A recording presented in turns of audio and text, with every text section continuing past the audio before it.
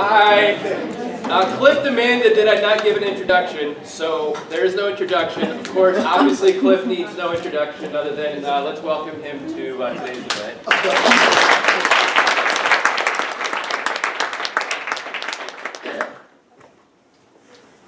Well, it's wonderful to be with you uh, in every way. I'm delighted to be here. I've had a hell of a three and a half year experience studying in Northern Sterling colleges, and it's been one of the most inspiring experiences of my life. And uh, I'm delighted to report that I'm still learning and learning a great deal from MSI. So, by way of introduction, I'd just like to uh, welcome you to uh, what I hope is a discussion uh, to explore some ideas for educating a diverse nation. I put up the slide by my good buddy Walter Allen from UCLA, with whom I've been working for many, many years on civil rights cases. And I think Walter almost poetic here. Um, the, uh, before beginning the event, I would like to express my appreciation to several people not least of all Mary Beth Gasman, who's a professor at the University of Pennsylvania, my colleague, friend, and uh, Todd Lundberg, who was a student here and actually got a second PhD in ELPA a year ago, is now a dean at Cascadia Community College, was a great addition to the study, and uh, my wonderful wife Julia, who contributed, as many of you would know, in myriad ways to this study. Uh, uh, more particularly, I'd like to thank uh, WCER, Bob Matthew, and everyone for their support uh, of this event. Uh, Joshua Johnston at the Multicultural Student Center was very supportive. I, uh, I particularly like to thank several people, two people. Catherine Llewellyn. Catherine, will you stand up? She's in African Studies and did a terrific job in helping getting this event. And it takes a hell of a lot of work to get these events going and of course Jim Delahunty from African Studies, Jim. And uh, along with, uh, they, they, of course, there are so many other people that I would uh, like to uh, thank. Um, the uh, WISCAPE people, I can't begin to thank uh, Jason Lee, who is, my grandson just arrived, and it's career, career day for young people in schools, and uh, Karen and Julia are here. The uh, WISCAPE people have been incredibly helpful, particularly Jason Lee, and Noel Radomski, and uh, of course uh, Julie uh, as well. Um, with respect to our get-together here today, I'd like to, uh, and I hope I can do this, uh, but I think I can, speak for no more than about 28 minutes and 34 seconds, so that we can have a dialogue and begin to talk about this challenge, because it's clearly a formidable challenge. It's not one that we need to read Walter Allen's quote, though it may remind us of the challenge we're facing. So then beyond that, I'd like to have a conversation. Not just about me, it's about the work. It's our and your conversation about what we can do at this university and other universities in the area and colleges, uh, two-year colleges, technical colleges, and so on, to uh, educate, uplift a very, very diverse America. Um, I would like to ask one question, if forgive me, at the very beginning, to get a sense. I don't want to make assumptions about people's background. How many people here have been to a uh, tribal college? At least two tribal colleges. How many people have been to at least two historically black colleges and universities? How many have been to 40 or 50? Uh, how many have been to Hispanic serving institutions? Two at least. and uh, Asian American, Native American, Pacific Islander institutions. At least two. Oh, okay. Gives me a little context, and uh, here we go. I'm going to do a little portraiture at the very beginning. Again, you see Walter's quote. I'm not going to read much on the screen very much because I've been to a lot of PowerPoints and all of you can read. So I want to begin just by saying a little bit about some of the challenges in drawing out a study even before turning to it. Namely that uh, in doing this study, I think I became, notwithstanding having been around historically black colleges for 35 years and uh, tribal colleges, really the, the myriad challenges that students are facing. It's not just money. I think a lot of people think it's just money. It's not just money. You can see some of those that are identified, I mean, up- identified up here. Uh, Familial challenges, um, major family responsibilities. They go on and on, poor nutrition, inadequate housing, on and on and on, secondary trauma, and so on. Um, And particularly when they go to certain colleges, some of them, for example, as in some cultures, including tribal colleges, are used to listening and not standing up and asserting themselves. And we heard lots of stories about that. I remember some of the challenges very vividly when people would talk about some Asian American Pacific Islander institutions, for example, who talked about what it was like to be a perpetual foreigner on campus. I'll never forget some of those interviews. And students who said, uh, people made assumptions about where they're from, and they said, I'm Hmong, I'm Laotian, I'm Vietnamese, and on and on and on. So I think, and uh, some of the names these students have been called at other institutions, I'll try not to mention them today, but they can be quite disturbing. So in many ways, it was really opening up for me, uh, and I think all of us need to think about the intersection of challenges. And I think that subsequently leads to thinking about, we need to seriously question the one-size-fits-all model that we use often in our nation's college and universities. The diversity is almost overwhelming. The, uh, here's the overarching challenge, I think the way MSIs frame it. You get it? It's not that people aren't capable, they haven't had the opportunity. But some of the rest of us have, to be legacy admissions or whatever the case was, in my case. Changing demographics of this country, you all have a sense of that, we're well on our way to becoming a plurality nation.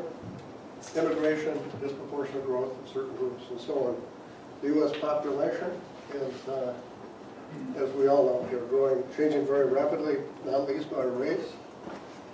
Uh, Over the last 30, 30, uh, rather, from 1980 to 2010, dramatic changes. Hispanic population is growing very, very rapidly. So next slide will indicate. And then we look at colleges and universities, that grown fivefold for Hispanic enrollment. You know, this is over 31 years. Asian American, Asian and Pacific Islander enrollment, black enrollment, American Indian Native enrollment. Most of you have a pretty good sense of this, I suspect, so I'm just going to do, get right to the heart of the overarching challenge. I think it's stated here fairly succinctly, maybe a bit overstated, a little bit sardonic, but let's, I think we need to get real. We haven't always provided equal educational opportunity for students across differing, not only racial, but cultural, ethnic, and socioeconomic backgrounds. Now, the question is, and I'll get back to this a little later, is, uh, is this an unsettling problem? I frame the question this way, will provide, will providing educational opportunities for diverse students uh, disrupt mainstream cultures, our world, live in? I think we need to address that question all the way from the campus level, system level, to every course, how we teach, what we do outside the classroom, and so on. MSIs have a very unique niche in higher education, as you probably know, lots of low-income students and students of color, as well as uh, have a lot of diverse faculty I'll refer to briefly. Many of the students simply haven't had the opportunities, as earlier indicated, that other students uh, have had. They come, often come from uh, backgrounds where they didn't have the opportunity to, to uh, many times learn English as second language. We'll talk about some of those and so on. But uh, uh, MSIs are doing, I just wanted to give a little, how many people here have been to the Marshall Islands?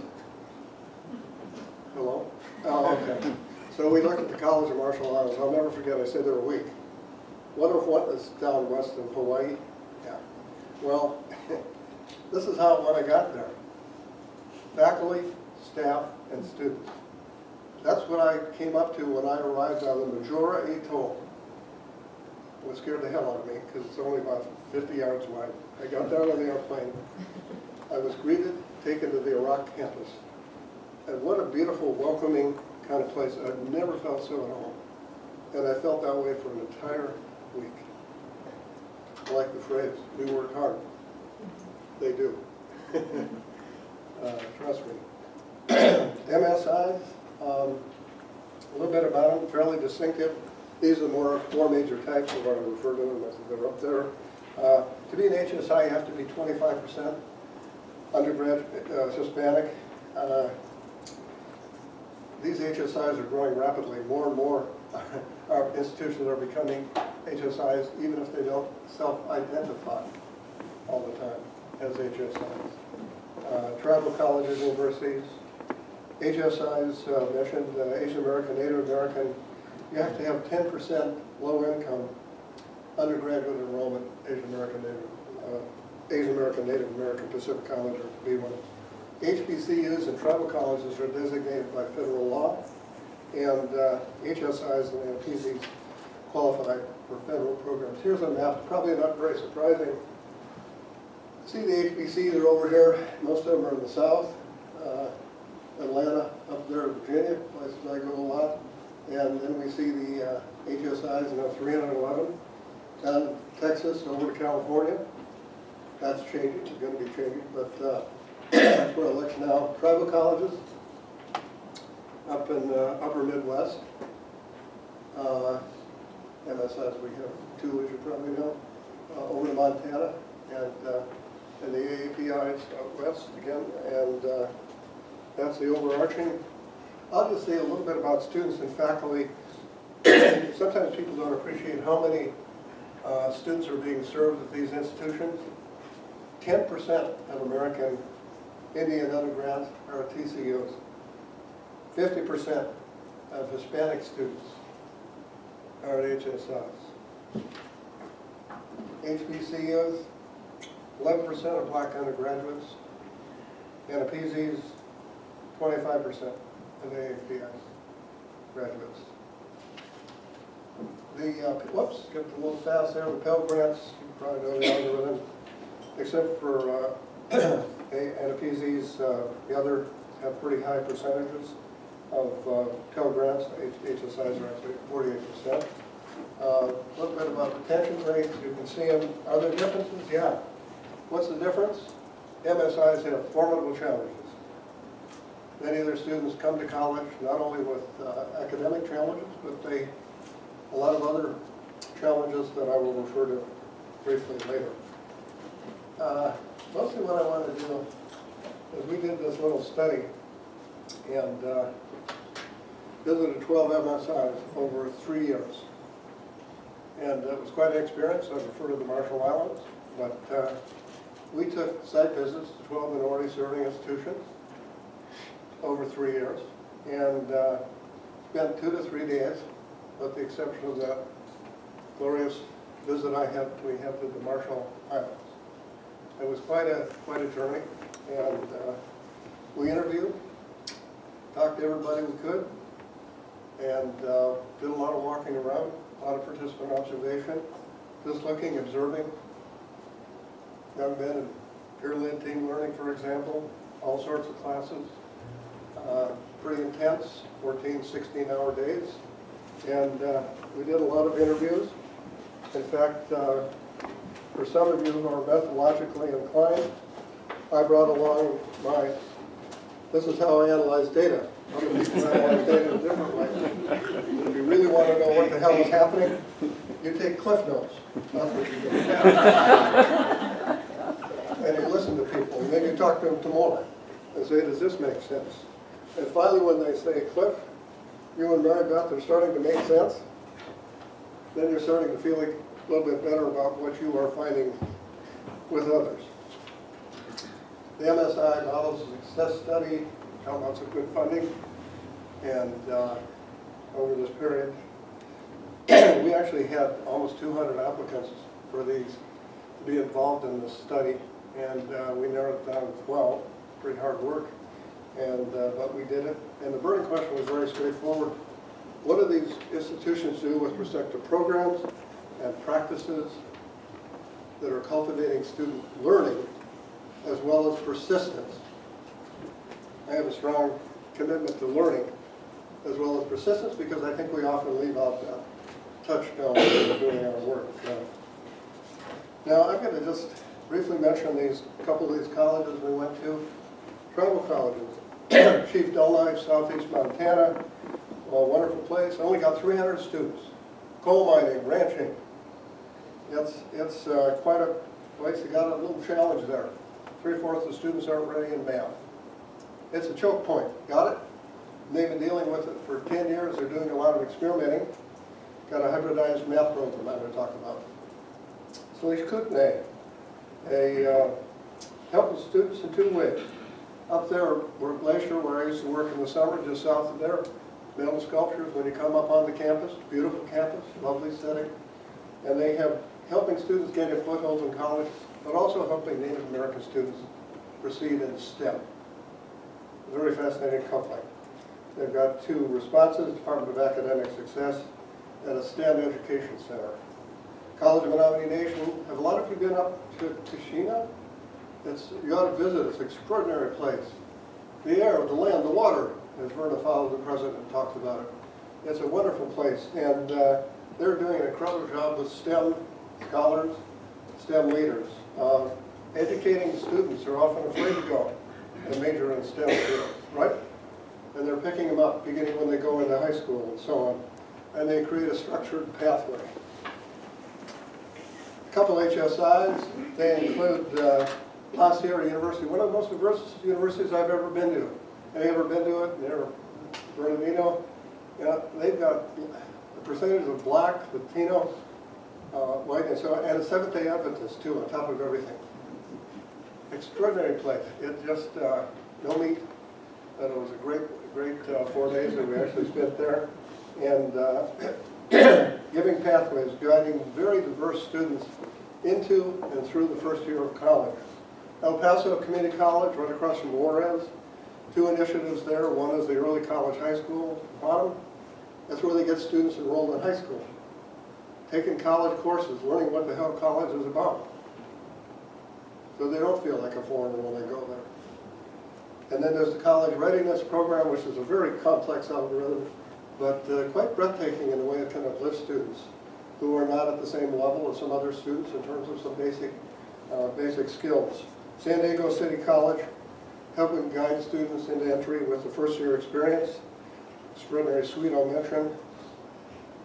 Uh, the H, uh, HBCUs, uh, Morehouse College, I don't know if you know there, it's in northern Atlanta, uh, uh, private HBCU, and I've been there many times, and uh, they're doing an incredible job with getting young men interested in STEM, developing an identity, as I'll talk about, providing a, in this MBRS RISE program, incredible research and learning opportunities to network with other scientists around the country, build identities, many are going off to medical school, and, as well as studying science, engineering, and so on. Norfolk State University, uh, I taught at William and Mary a long time ago, it was just down the street, 50 miles, but uh, it's uh, uh, got this Ride and I program.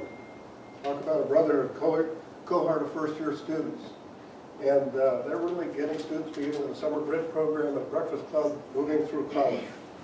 Paul Quinn College, south of Dallas, used to be 2,000 students, now 300. But they got this extraordinary, one of the most charismatic people I've ever met, next to Marion Barry, Prez, Michael Sorrell, doing this incredible job uh, with the institution. Duke Law grad came back and said, we got work to do, and he's leaving quite an input. The ethos I'll talk briefly about, we over me, you get it? We over me. I've suggested to Prez that we- and me. But, uh, and finally, the Free Asian American Pacific Islander Institution, College of Marshall Islands, this residential learning community, quite extraordinary, everybody lives right there. These, these uh, students are often at this, English second language. They up to this kind of boot camp and spend uh, two semesters.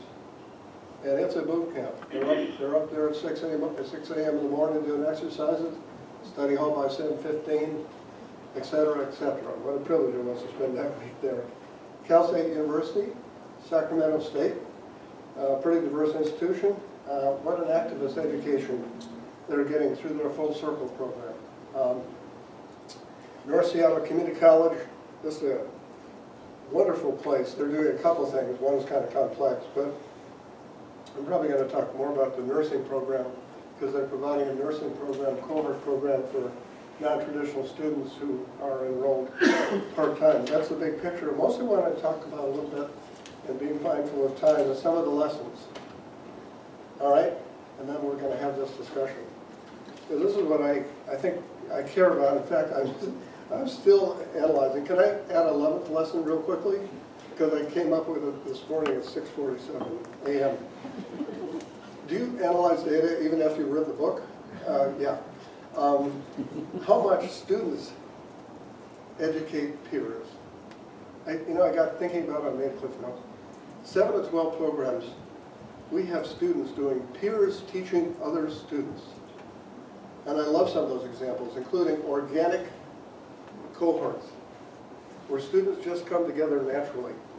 What the institutions do, they create spaces for them to move together in cohort groups. But having a math tutor who's a student instead of a professor with a measuring rod up her or his sleeve, fancy bow tie, so you get the algorithm. Um, so what, that's one I don't have, but I'm going to go right to lesson one. You see it up there. these students need a foothold, these diverse students in college. Um, all that fear and uncertainty and so on.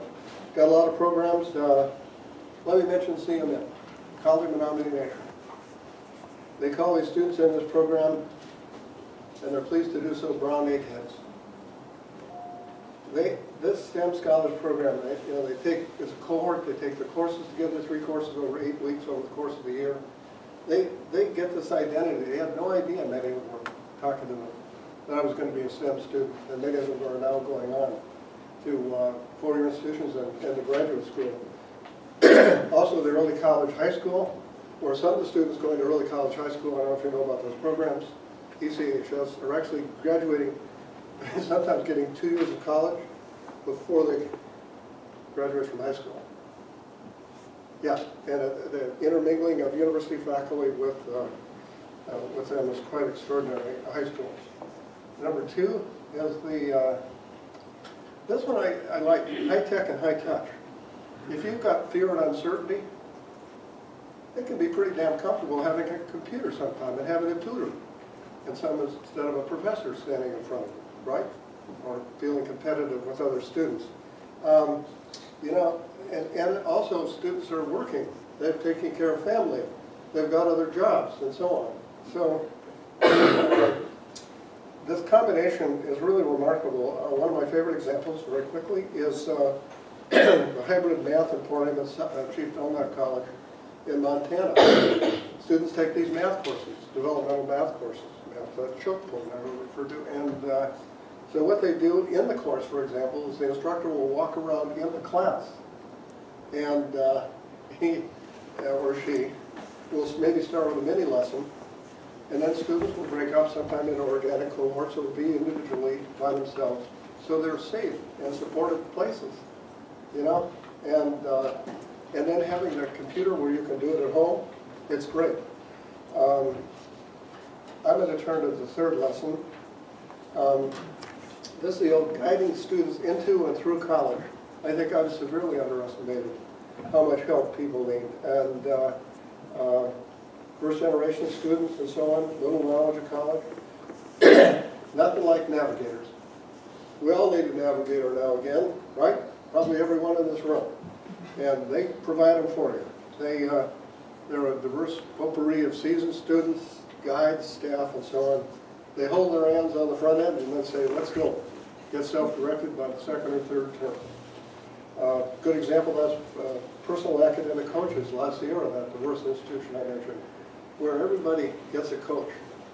And the coach is a student who's helping you uh, address some of the challenges in college. Here's what it is, here's what to think about. They're helping them with academics as well. in fact, the coaches who are actually BS, BA graduates of college um, are, are the coaches. And it's quite a commitment. and they end up team teaching with faculty, as I'll say in a minute. Here's the most important lesson, I think, for me. Blending roles and responsibilities. Blur traditional roles of faculty, students, staff, leaders. Lots of examples. Um, th- This, uh, one of the best for me is Salish Kootenai College in northwest Montana. They have a Department of Academic Success. Everybody comes together. They have faculty teaching there, they have tutors, um, regular tutors, math tutors, student tutors, a whole bunch of services, uh, skills workshops, cultural events. They bring people together. Faculty, staff, president comes by, everybody there. They build a community, and it's a safe place. Uh, I know, I observed it a lot. Um, The, uh, uh, and there's the team teaching I mentioned at La Sierra, where in some classes, the coaches are teaching maybe one, 10 out of 60 minutes in a class. And they become a part of it, the kind of a, a team teaching that seems to be working very well. Um, The other, one of the most important lessons for me is make education relevant, culturally relevant, and the best way to do it is through problem solving, or what some of us call inquiry-driven learning. In other words, you're, you're getting involved in problem solving, but the challenges that matter to their communities. A good example is, uh, one of my favorites is uh, the uh, STEM program at Salish Kootenai where students are actively involved with STEM faculty in doing research on problems relative to the reservation, near the reservation. So if there's mercury in the water, and they're concerned about it, they do a study. I'll never forget this one student who uh, was quite something, worked with a faculty member, did this study of mercury in the water. Then uh, they published it in Science, an article, in 2011. She is now a medical student at the University of Washington. I mean, they, people, the students resonate with an education that matters to their lives. And to be a part of problem solving that addresses issues, whether it's on the res or wherever it is, is something that deeply engages them. The, um, lots of other ones, the culturally, oh, I love the, how problem solving, the 65th corridor project at San Diego State University students are going out and uh, working, uh, tutoring with uh, young people from 7th to 12th grade, doing workshops, tutoring and so on. They're deeply engaged in that. This one, some of you will resonate with. This is the identity issue. But I think, you know, creating a safe space where students can really explore, seize, and affirm. You know, opportunities to do that. Um, And one of the best examples is the Full Circle program at Sac State is just a great example of what Tim is doing there. Namely, it's, it is, uh, you take three courses in, uh, in uh, studies, uh, Asian studies, and uh, uh, the cohort is about 75 students. They get involved in so many activities, the leadership initiative. um, It, it is uh, uh, getting involved in the community, like the 65th Corridor Project and so on. These people are thriving, these students. They love it. They're, they have a sense of who they are, and they don't, they're not doing the two-culture thing. They're creating their identity in the way that they want to create it at that institution. It was pretty inspiring. And certainly, it's great to see, like at Morehouse College, where young men are, you know, getting this identity as, as a scientist. Know, it's incredible, the percentage of students on Morehouse, black males, that go on to uh, graduate school. Just off the charts. A Couple more, and then we'll have a discussion. Networking, um, this is important. I mean, people don't always get, have the opportunities that some of the rest of us do. And so to, to hear stories at, at Salish Kootenai or College of Menominee Nation, where students are able to go to national meetings with professors, to meet people, and so on, what an uplifting experience it is. It opens up eyes, and uh, it makes them, uh, brings a sense of uh, what some people might call intellectual joy. For example, it's fun to see that, and uh, we saw a lot of that. Yep. Uh, uh, to- Just a couple more, gather information. I, I was never a big assessment person. in many ways, because I've done on tenure assessments, and evaluating colleges, of liberal arts, and everywhere else. But I must say, I've become much more data-driven under the influence of Dr. Shuli Wong. And, and, and this visit, how people take data, they collect data, they know where students are, how they're proceeding. I have the example of the nursing uh, cohort group. We actually observed some of these meetings where, where faculty, staff got together once a week and talked about, how is Paul Baker doing today? They did that. Uh-huh, a little bit short, sorry, Paul, just kidding. You get the idea. Let's, what can we do? What needs to be done here? You know, do some straight talk, tough love, and uplift people, make sure they're on the same trajectory, and so on. So, uh, I wouldn't, I, I really am serious about that. I, I've come to appreciate how much that matters, because you're taking students one by one. Here's my favorite lesson, whoops. Um, uh, with this language for many months, collaboration. I've led, a- I've read books and books, a lot of BS on collaboration, and it sounds a lot like cooperation to me. This language, learning with and from others, with and from others. And as we link it in the book, and in turn giving back, it's the last, last lesson. But, uh, you know, to see this at the Marshall Islands, students, faculty, yeah, they, the faculty live up on, uh, excuse me, Arrak campus for the program. We were there, and I was there till night, at night to ten at night. You see students going to faculty members' houses. They're coming up, I need a little help on this math problem, and I'm just curious, you know? Professor from the Philippines, uh, teaching there and so on.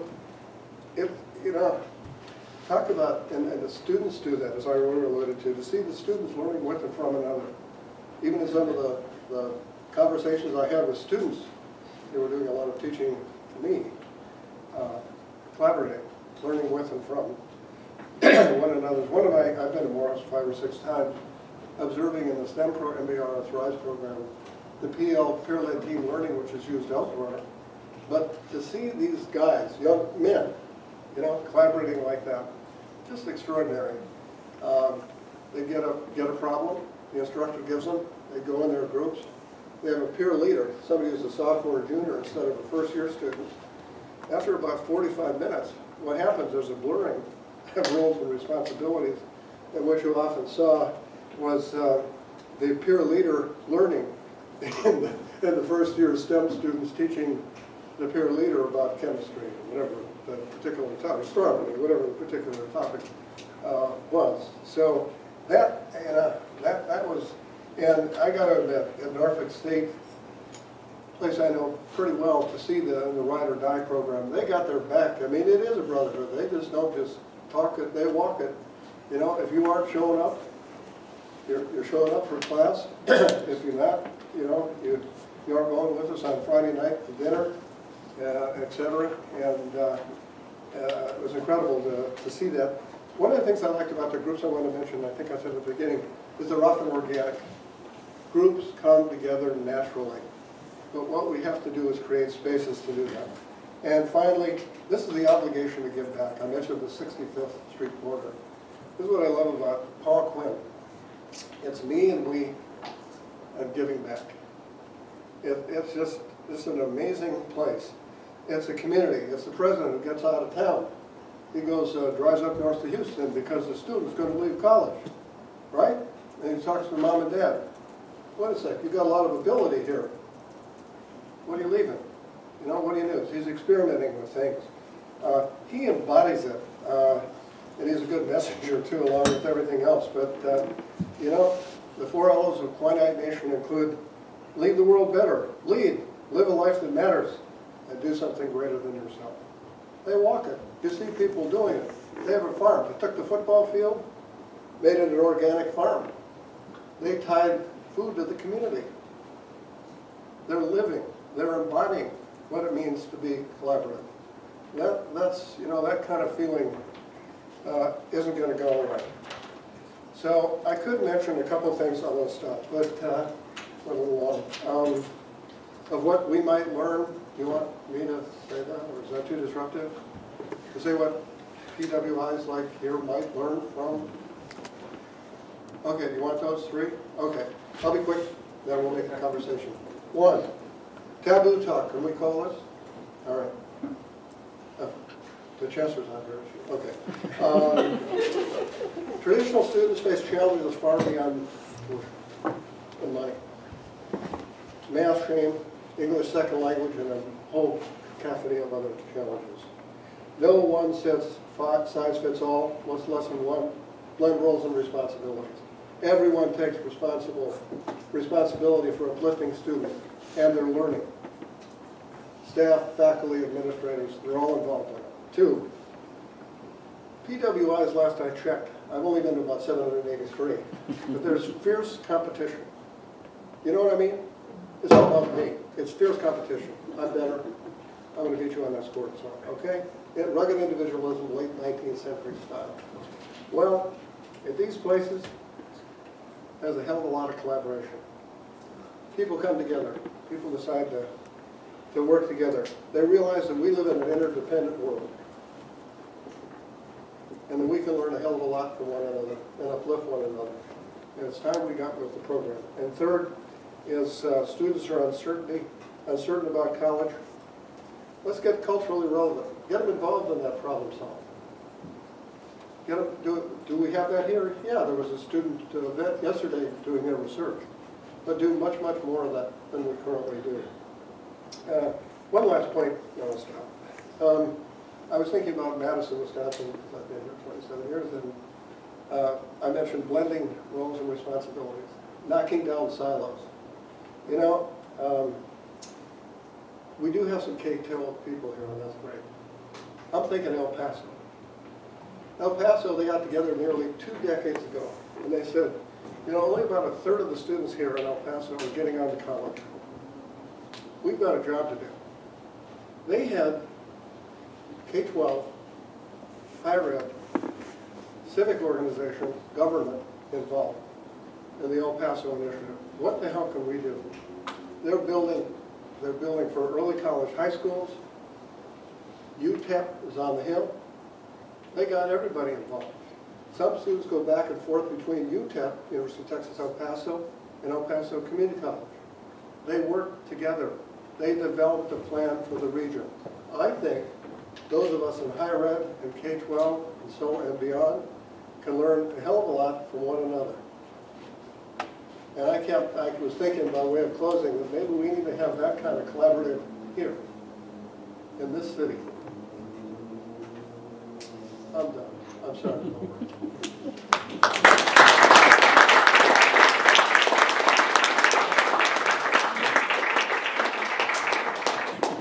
This is no longer about me, is about us. So you don't need to direct your questions at me. You can ask questions or make comments. And feel free to leave at any time. I know people have jobs and other events. Maybe you've heard the, some of these algorithms few, too many times. I, got from New Yorker.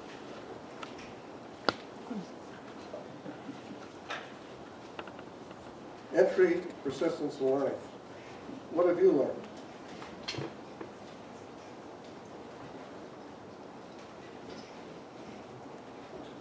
Explain the totem, What's that? totem, Totem? the uh, carving. Oh, I got that. You like it? Don't tell anybody, it's in the web. I got it up north to see how I love it. You like the token? I have a bunch in my office. I love them. From Taiwan to, uh, here. Yes, yes, shoot me. Can we talk about what we, PWIs can learn from MSIs? But how do you, it is how you execute like your first one of breaking barriers from Uh. How do you bring about change? Yeah, Well, what ideas do you people have for bringing about change? I think we have tendencies to keep things as they are in many institutions because we're quite comfortable with that algorithm, aren't we? I think so. Do I have uh, Kevin, do you have any ideas about how to bring about change? We have Kevin Reilly, the former president, you know the system. I have to put him on the spot. You don't have to answer that. I'll let others talk. I'll let How do you, what do you do? How do you stand exam- up? there's exam- You're talking about Wisconsin, uh, Madison, right? So I'm just gonna Yeah, focus well, on that for yeah. a second. So, um, you know, a group of us have been having conversations between the K-12 and, and and Madison College, Right. right? So, there's an idea that came from others about UW-Madison. And that is kind of similar to the early college high schools. Right. But why not offer courses, Madison College courses here in the evenings and weekends? Yep. And because the, the diversity of Madison College is quite different uh, than the UW-Madison campus. And as you know, the Madison campus, outside of Alpha, a few other departments, don't offer courses during the evening and weekends. Yeah, So the space is available. yeah. Madison College is closing their west campus and they're gonna sell their downtown campus. And, you know, this is a pipeline example. And, and they, Madison College works closely with the school districts, Yeah, perhaps a little bit more than we do. The problem there is, people in Bascom view that as, you know, there's a lot of legal issues and, you know, they come up with reasons why not to, as opposed to why not. Uh, so it gets at. so how should we bring about change? Yes, when there's ideas from people outside the academy, with the academy, but then you get stuck. Well, some of us didn't begin to learn how to march in 2011 up State Street. We began a long time ago. Uh, What are some ways to do that, bring about change? How do you stand up? Uh, I think, to begin with, you create dialogue. You hire leaders who are open to change and not just keep things as they are. We're getting a new dean in the School of Education. I think it's a propitious time to get a dean who's ready to shake things up a little bit here. Damn right I do. Uh-huh. And uh, I think a lot of leaders in uh, our colleges and universities, I've met many, many of them, like things just the way they are. And uh, so change strategies are, are, are are challenging. I like your idea, so you got the idea. It's not my idea, it's their idea. Their idea. thank you. And uh, maybe we need to have a little protest one day, but we'll try some other things first. Thank you. Yeah, Leo? Okay, hi. Um, I guess I'm coming from a minority perspective because I went to an HBCU for undergrad. So I appreciate your book because it gave me a much more broader perspective on not just HBCUs, but minority serving institutions as a whole. And I kind of saw the, the recurring themes between the institutions. But, um, I guess one of the things that I was surprised that didn't get mentioned in the book was the, like, significant number of African Americans that come from HBCUs that it becomes a pipeline to institutions like UW-Madison. Right. Um, and a great deal of, uh, people that graduate from HBCUs go on to be judges, PhDs, and medical doctors and things like that. So I think change does happen over time, and, you know, there's diversity that happens because of these institutions. But the question that I had for you, uh, that relates to change is, how do you see, because I know you've been involved in a lot of civil rights, um, different decisions that have been made, particularly Fordice versus Ayers, that deals with the integration of HBCUs and kind of trying to find, putting, putting um, the responsibility on HBCUs to justify their existence. And if they can't do that, then they have to integrate or kind of change their demographics. And so there's a lot of different ways you can look at that as positive or negative. But I wanted to know what you thought about that in conjunction with the country just being more diverse and higher education having to um, accommodate that diversity. Do do you have any ideas in response to that question? I have a lot of ideas, but I asked him. Are we going back to that traditional format? Uh, I don't, you know, me, I don't, for once, I don't have any quick uh, thoughts on that. I, I do this civil rights thing for thirty-five years, and and I've been to all these HBCUs, and I'm actually still doing it, trying to desegregate them. Um, I'm not sure the, which is the most important of the questions of how do we, I guess I was giving the background to show Right. the change that HBCUs have been able to kind of enact over time, opening access for students of color. but I was wondering what you, how you think, basically the question is, what is the future of HBCUs based on your perspective, the involvement that you've had in the civil rights? I, I think HBCUs have a, a very, very important part on the landscape. Uh, I mean, I've been Mississippi, Alabama, you go to Alcorn, you go out in the Delta, Mississippi Valley, you go to Southern University in New Orleans, Baton Rouge, and, and uh, Prairie View out in Texas. Uh, um, I- They create very safe places for many students who still can't find them at other places. And uh, I, I, this sounds corny because I don't like talking, about it. I just believe strongly in equal educational opportunity for all. And that's why I think that MSIs, including HBCUs, need to be, continue to have a prominent place on the landscape of higher ed. Because many of our institutions have a long way to go before they can make them the kind of welcoming and supportive places. We have a lot to learn, I'm sure I do as well, about creating those kind of safe places. When you hear stories, like I've heard, and I've heard them uh, for many, many years, once you get out of campus, start walking around with students and say, you know, I went over to school in Missoula, whoa, you know what they called me? I'm not going to be specific, but you get the idea. So I'm back here at a tribal college, or going to an HBC or whatever. I, I think HBCUs uh, have a place, a prominent and important place on the landscape. I think public HBCUs, as I've said to you, need to be open at the same time. Uh, I happen to believe strongly in desegregation, and I will continue to embrace that. But I also, I think that they, uh, HBCUs ought to retain their identities as uh, historically black colleges at the same time. They're welcoming and supportive. And then I believe in very strongly. Yeah. Oh, is that? Yeah, with the budget cuts, a lot of MSI have opened the door to international students. So a lot of them uh, go to recruit international students from Asia and Africa and other places. So how these MSI can retain the primary mission and open the door to uh, international students? I- I'm sorry, I couldn't hear the last part. but- So how does MSI can open the door to international students and maintain their primary mission? Well, you know, you've been in global studies. Think about that. Um, What do you think? I bet you've got an idea. Oh, no, we doing that again? What do others think about that question, the international students? I- think there's some comparisons, yeah. I think it creates safe places, among other things, where people begin to feel more welcome. And uh, uh, Julie and I, we have people over to our houses, you know, and uh, try to create that kind of a, kind of a place where people can feel comfortable, uh, get to know one another, and we can begin to break down some of those barriers.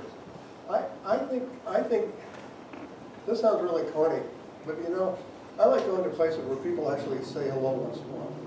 Now, you people here, most of you say hello. Kevin, Kevin says hello. He even says, Cliff, I see you published a book. It's called noticing one another. Do you get the algorithm? I, I think sometimes in larger institutions can do this, but simple creating a, a sense of belonging on campus, even if you have to be a little goofy once in a while, to do that. We do a risk taking, say, how you doing? "Well, I like your tie. You know, I wear this damn tie across campus. Whoa, all of a sudden people are noticing me for a change. Except for a certain group of people.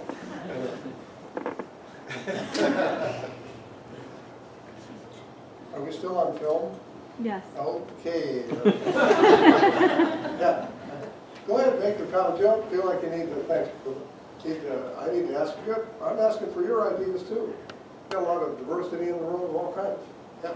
And I think your last statement uh, was something that could have been answered, I guess, in the first question about how can PWIs, what can they kind of take from minority serving institutions. I think it's also interesting, what if PWIs typically, they just don't want to have that environment? They're not saying it explicitly, saying that they want to be open and welcoming. And uh, I think from your travels across the country, have you, I mean, did you get a sense of how upper level administration, how they're buying in within this impact, or was it kind of student driven?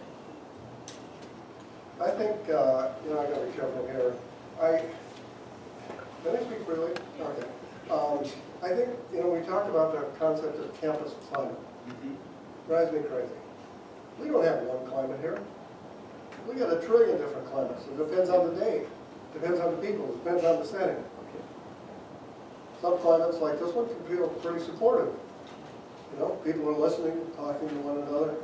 I think sometimes we worry more, and I'm not talking about here, but in general, about these campus-wide diversity problem challenges, and a map, instead of getting real about what do we do across the campus? What do we do to blend roles and responsibility?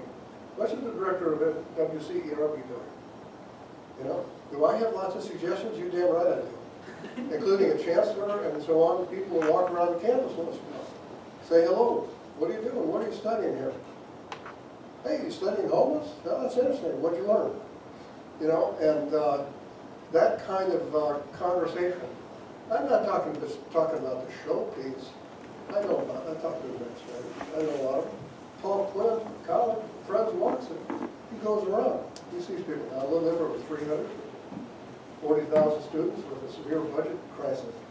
I understand that. But yeah, that creating that kind of, uh, in our respective settings where there's a climate of trust and support. And, you know, um, I'm even, to take an example, in my DSA University class, I'm learning, I'm using Learn. And it is just fascinating now, the, the posts are really good today. And, you know, to hear, to, to see students dialoguing with one another. Uh, I like your point, Kim, but, you know, so you're, you're getting people involved in it. So there are different ways I think we can do it, I didn't appreciate till this term, excuse me, how online learning can be a safe place for students to speak freely. And all of a sudden they're saying, what the hell did Cliff say in that last class assignment? Right? You know, and uh, creating that kind of a space. And uh, I think we need a lot more of that. Your ideas. Uh, My question, I got a burning question. Enough of me. Yes, Kevin. So, back to your original question, on how do you create change? So I think, you Yeah. know, one of the ways to do that is by clearing out some things that might be preventing and obstructing positive change. So, one of the striking things, still unfortunately, about what you've put up in front of us today is that the completion rates Yeah, at these colleges are very poor. right. I think people who go on very often do very well, but the vast majority of students who start at these colleges are not getting the degree or certificate they come for. What, what did you learn, if anything, about things that have been tried there that people would say to you, well, we tried this, but it didn't? Are we doing some of the things that don't work that we should Oh. figure out? I have to think about, that's a wonderful burning question, Kevin. What have they tried that doesn't work? I'm trying to think of some things they're using PWIs that, uh, that they use. Um, I think, um, just fancy dinners. Oh, I know one. We have, it's gonna hurt. We have speakers come in all the time and just splatter the whole time. You get it, right? You know, uh, dinners, fancy dinners, where sometimes students often feel very uncomfortable. They like more of an informal setting, right, Julia? They like to, they like to, to hang out, be comfortable with the place. You know? See somebody playing catch with their grandchild, whatever the hell it is. You get it. I think, I think, uh, I think we have a very formulaic approach to it. And, and, and I do think the one-on-one is important. And so people are saying, asking, where are you coming from? You know? But you make it a two-way deal. It's about me and you. Right, Harvey? Yeah. You make it a two-way deal. Maya? Um, I, in your book, I read, that you talked a little bit about culture and the influence that the kind of background that these students have in their outcomes. I think it's really critical to talk about that explicitly to understand why they have the outcomes that they have. And so I was wondering, um, when you talk about like the Asian um, students, and when you talk about the Hispanic students, you talk about them being immigrants, how that impacted their um, experience in in college. I was wondering what you saw in terms of African-American students and um, Native American students, or just the differences in the types of history and how that influenced students' outcomes. Um, And also, what role did discipline play? Because that word Should came up, discipline- discipline, that word came up about fifteen times, yeah, I- probably more. And so I was Yeah. wondering like, In the book, and it came up, yeah, it does come I up. was wondering what kind of, just that, if you, so there's, there's two points really. Them being immigrants and then being voluntary versus involuntary immigrants and how that impacted their outcomes. Oh. Did you observe that? And I then have to what think about the latter, that's an interesting question on the parsing between voluntary and, I wouldn't want to give an answer.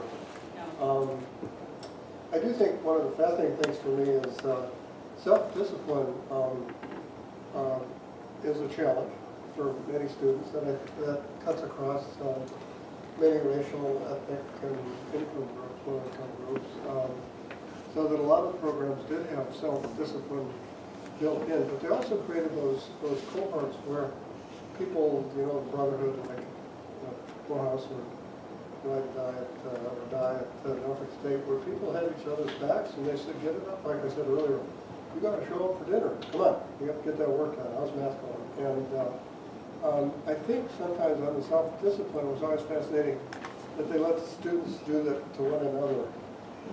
Does that make any sense? Where they, it wasn't the hierarchical approach that we've often seen in this country. It was uh, students help one another become more self-disciplined. So, like at the College of Martial Management, getting up at six o'clock and, and kind of a tough love approach. Um, But I've also, when faculty and administrators and staff love students, then they can be tough on them too. I think you gotta have the love a little bit on the front end, so they trust you. And then you, then you, then you get that kind of straight talk. The book, by the way, has many, many narratives and quotes, I like quotes and stories of individual students that really give life. I was looking at my notes from uh, Chief Nolan from college and how vibrant some of those quotes are about, for example, what, how I learned to become more self-disciplined as a result of that boot camp up in the uh, Arrak campus of California College. Sorry, I didn't really articulate the other part, is trying to understand in the narrative, what were the differences that you observed between the students being having voluntary or involuntary immigrant status? Yeah. Because they That- talked about I haven't, I need to think about that. I, that's a great question. I don't have a quick answer. I don't, I don't think I thought about it that way and, uh, um, so, sorry. I'll think about it. It's a good question. Am I still analyzing these data? Okay, yeah. Yes, um, comment for the gentleman that asked the question about PWIs. Um, I think one of the biggest things that could be a possibility is getting a lot of students out of the PWI kind of climate.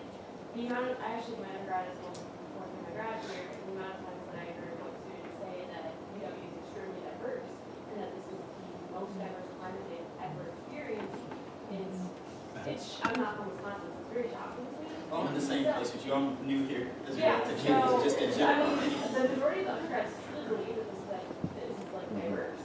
And really it's not, and, and I don't know, getting them to, like, even Yeah. Chicago, like, a lot of, a lot of freshmen, sophomore, they've never been to Chicago, and it's only three hours away, they just, they don't know.